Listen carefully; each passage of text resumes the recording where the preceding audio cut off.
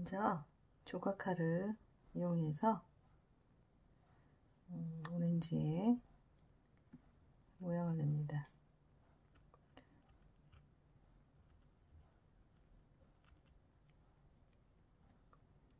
음, 속살은 벗기지 말고 겉에 노란색 부분을 이용해서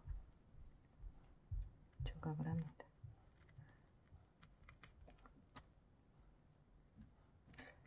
아, 조각을 한다기보다는 겉껍질을 벗긴다고 표현하는 게 좋겠죠.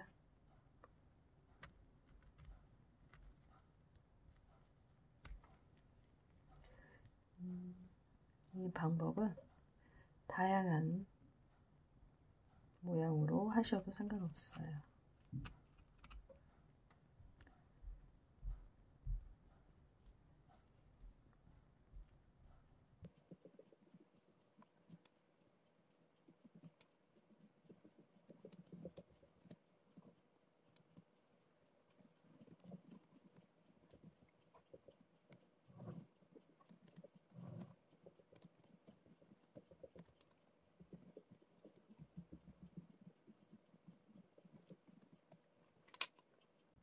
오렌지에 이런 모양을 냈습니다.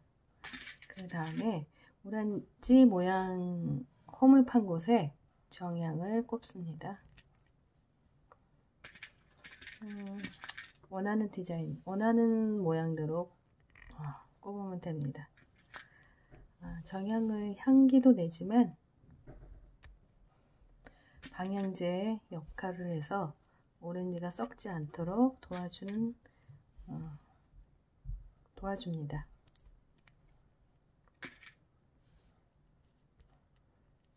이 정향은 음, 꽃을 꽃, 꽃이 피기 전에 꽃봉오리 상태에서 말린 어, 향신료로 족발 돼지고기 요리를 할때 음, 사용하는 향신료입니다.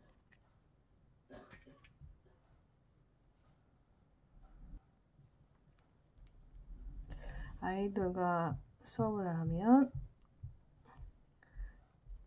아이들의 눈과 손의 협응력을 어, 높여서 좋고 또 오렌지는 껍질을 벗기면서 어, 향이 진하게 나기 때문에 어, 아로마 테라피 같은 효과를 어, 내곤 합니다. 아이들의 기분이 저절로 어, 좋아집니다.